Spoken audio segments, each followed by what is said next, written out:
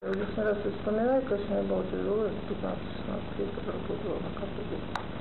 Я в шестом году пришла, в 2003 году защитила кандидатскую диссертацию. О своей работе в лаборатории медакадемии Наталья теперь долго не забудет. Это ее руководство вуза, по сути, обвинило в пропаже тел 248 нерожденных детей.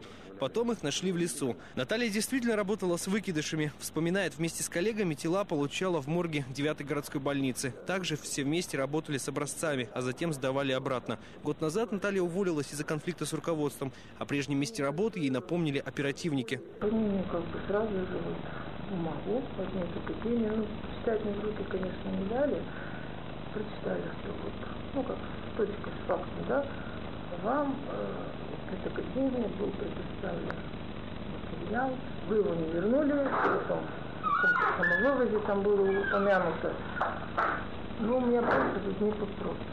Как девушка смогла вынести из лаборатории четыре большие бочки с человеческими плодами? Еще один вопрос. В медицинской академии на него отчасти ответили накануне. Всего-то и нужно было договориться с охраной. Руководство вуза не скрывает, что учета образцов здесь не ведут, а виноватого искали окольным путем. Потому что мы четко посмотрели план научных исследований, запланированные кандидатские и докторские диссертации, кто мог заниматься с таким количеством материала. Это все у нас есть, поэтому мы имеем для себя определенные уже выводы.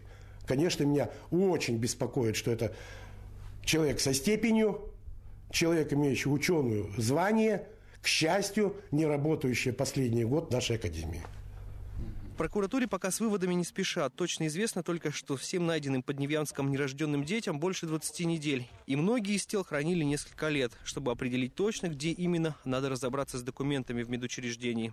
Это не только медицинская академия, то есть все руководители э, больниц медицинских организаций э, будут вызваны для дачи объяснений. У них отобраны э, договора, документы. Назвать виновников прокуратуре обещают сразу, как только опросят всех. Вероятнее всего, преступником-одиночкой дело не ограничится.